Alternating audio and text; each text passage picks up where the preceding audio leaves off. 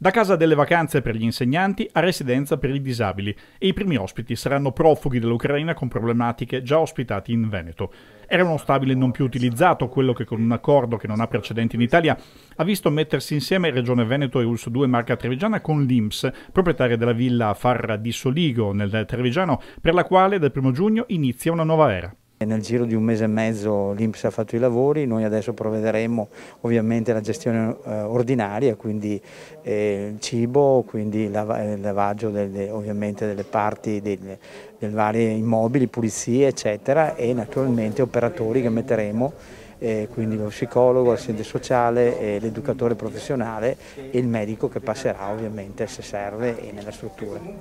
Si può dire che questo accordo apre una strada nuova anche per organizzare i servizi? Sì, è una strada nuova perché prima di tutto lavoriamo sul dopo di noi, quindi sui gruppi appartamento, quindi i ragazzi della disabilità che stiano insieme, eh, autistici, che stanno insieme con altri ragazzi disabili, in modo da tale da creare un, un movimento positivo di scambio anche di, di, di idee, di, di modo di vivere insieme e danno soprattutto a queste persone autonomia che è la cosa fondamentale. Una residenza che dopo i velocissimi restauri risulta irriconoscibile rispetto a prima, quantomeno negli interni destinati ad ospitare da 40 a 60 persone una volta completato il quarto piano. Alle spalle una storia lunghissima, presente già nel catasto napoleonico, passata per varie proprietà private fino a che l'Inps non se l'è ritrovata nel patrimonio immobiliare ereditato dall'Impdat. Patrimonio IMSS le stiamo recuperando tutte, il Presidente Tridico dava proprio questo segnale, ne abbiamo a Fano, ne abbiamo a Ostia e stiamo tutte cercando utilizzi di questo tipo, tant'è che è stato dato anche un assetto quadro di partenariato dal CDA, quindi una specie di convenzione quadro che viene poi utilizzata per replicarlo.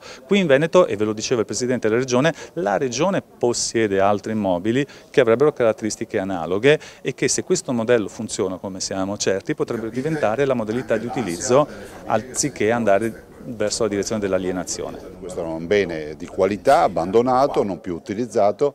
e pensare che riprende, torna a nuova vita dando questo servizio alle famiglie, alla disabilità, in particolar modo ai bimbi autistici che rappresentano un neonato su 77 che, nasce, che nasce è autistico, direi che è un bel segnale. Fra un modello replicabile in maniera tale che eh, lo dimostreremo con i fatti già nelle prossime settimane, abbiamo già identificato altri edifici da destinare a queste, a queste attività.